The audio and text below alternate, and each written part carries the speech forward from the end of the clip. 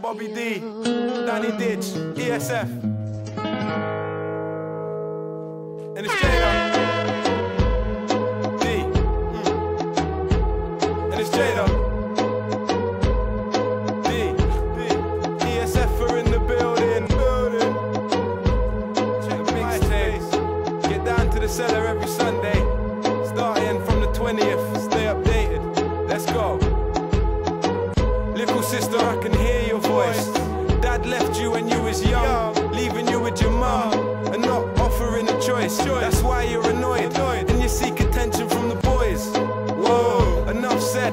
Innocent princess fascinated by sex, sex, which stems from my uncle's incest and all the sick paedophilic games he used to play with his friends. Whoa, as if that weren't enough. Enough. Now she's in the clubs getting drunk off the shots, shots flirting with a fug.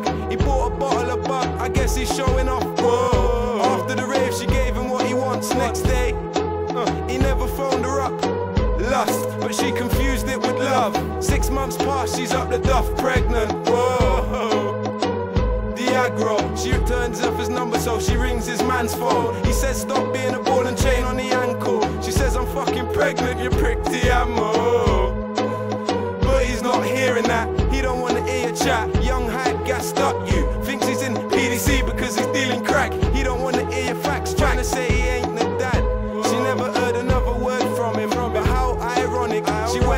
six months later for her little sister's birthday. And to see him in the same nightclub where she first laid eyes on him.